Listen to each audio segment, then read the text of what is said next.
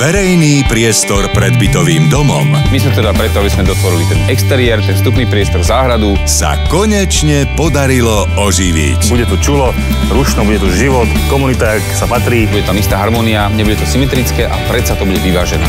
Nová záhrada v nedeľu o 15.50 na Jojke.